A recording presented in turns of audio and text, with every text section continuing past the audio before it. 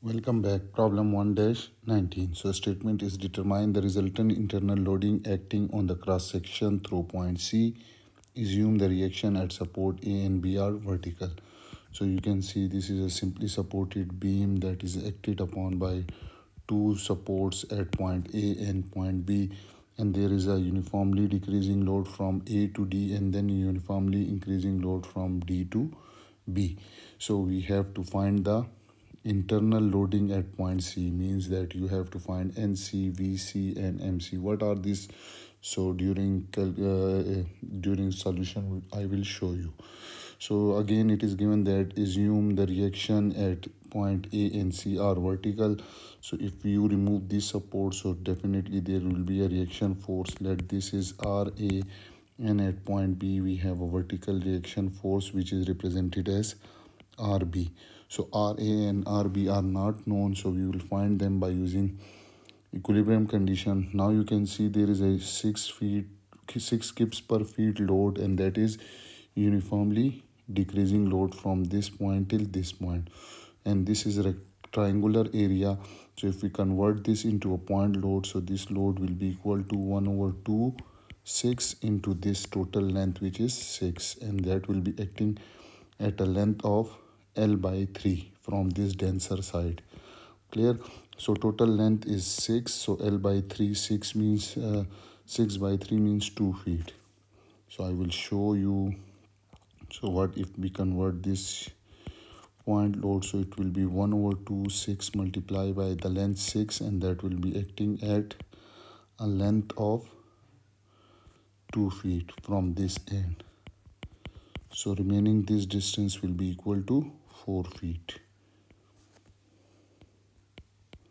same is the case here. If you convert this uniformly increasing load from this point till point B so this will be equal to 1 over 2 into 6 multiplied by 6 this will convert into point load and that will acting at a distance of 2 feet from this side. Now we will find uh, these unknown forces by using equilibrium condition. The first equilibrium condition is sum of all moment about point b is equal to zero and taking the counterclockwise moment as positive. So first moment about point b is this load which is 1 over 2 6 multiplied by 6 and perpendicular distance is 2 it and that is producing counterclockwise moment that is positive. So i will write it 1 over 2 into 6 multiplied by 6 and perpendicular distance is 2 8. The second moment that is produced by this load and perpendicular distance is 4 plus 6 which is equal to 10 feet and this is producing counterclockwise movement so it will be also positive.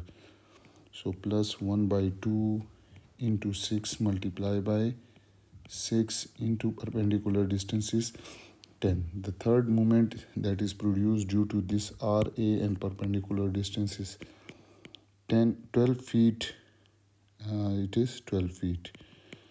And this is producing clockwise so it will be negative. So I will write minus RA into 12 is equal to 0 so again this will give you 36 plus 36 minus 12 RA is equal to 0. So 72 minus 12 RA is equal to 0. So RA is equal to 72 divided by 12. Okay okay one mistake i have made here is that this is uh, not 72 this is this is not 72 this value. This is uh, 6 6 36 into 10 360 divided this is 180 so again this will be equal to 6 uh, 11 to 16 okay. So RA will be equal to 216 divided by 12 so if I divide 216 by 12 so 12 1 12 and here we will have 8 uh, 1 11 this is 9 6 12 8 are 96 okay so ra will be equal to 18 kip now you can find rb by using this equilibrium condition that sum of all forces along y direction and force upward taken as positive. So ra which is 18 minus this load 1 over 2 into 6 multiplied by 6 minus 1 over 2 again this load 6 multiplied by 6 plus RB is equal to 0. So 18 minus, uh, 36 divided by 2 is 18 minus 18 plus RB is equal to 0.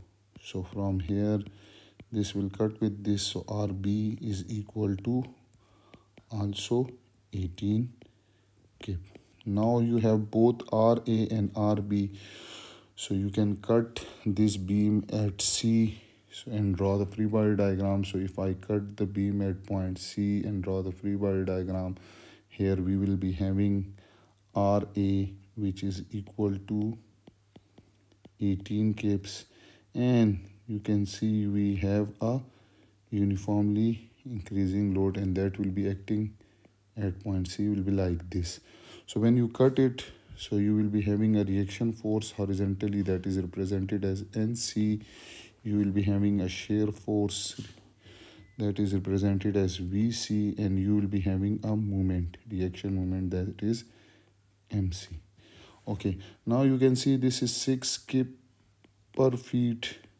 So what if I divide it into this length is 3 feet till point C. So this is 3 feet so again you can see at this point this this will be represented as uniformly distributed load and its magnitude will be equal to 3 kip per feet. And here you will now have this is 3 so again this will also a 3 kips per feet. But that is uniformly decreasing load. Okay so what we will do is that if you convert this uniformly distributed load into a point load so it will be equal to 3 into length which is 3 and that will be acting at half of 3 which is 3 by 2 and that is 1.5 feet. Now if you convert this uniformly decreasing load into point load so it will be equal to 1 over 2 3 multiplied by 3 and that will be acting over L by 3 from this denser side. There so L by 3 is 3 by 3 which is equal to 1 feet. Now we'll apply equilibrium condition that sum of all uh, forces along x direction must be equal to 0 and force in this direction is taken as positive so you can see you have only one force which is nc and there is no other force. So it means that nc is equal to 0 similarly you will apply the second equilibrium condition that sum of all forces along y direction must be equal to 0 and upward forces taken as positive. So one force is plus 18 the second force is minus 1 over 2 into 3 by 3 and the third force is 3 into 3 their sum and the fourth one is vc their sum must be equal to 0 so i will write one by one. 18 minus 1 over 2 into 3 multiplied by 3 minus 3 into 3 minus vc is equal to 0 so from here you will get this vc which is the shear vertical shear force at point c comes out to be 4.50 kip. Now we will find this moment by using sum of all moment about point C must be equal to 0 taking the counterclockwise moment as positive. So first moment is uh, this one which is you can see MC and that is counterclockwise so it will be positive so I will write MC the second moment will be due to this force which is 3 multiplied by 3 and perpendicular distance is 1.5 and this is producing counterclockwise movement so it will be positive. So plus 3 multiplied by 3 multiplied by 1.5 the other moment will be due to this load and perpendicular distance is 2 feet and this is producing counterclockwise so it will be also positive. So I will write plus 1 over 2 into 3 multiplied by 3 and perpendicular distance is 2 the last moment is due to this 18 kips load and perpendicular distance is 3 feet and that is producing clockwise so it will be negative. So minus 18 into 3 is equal to 0 so from here when you calculate it you will get mc will be equal to 31.5 kips into feet.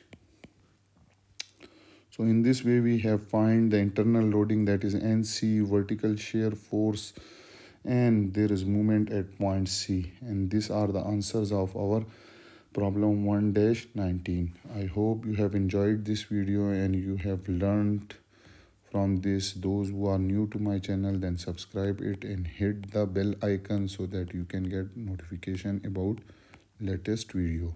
If you have any question you can ask me in comment section. Thank you for watching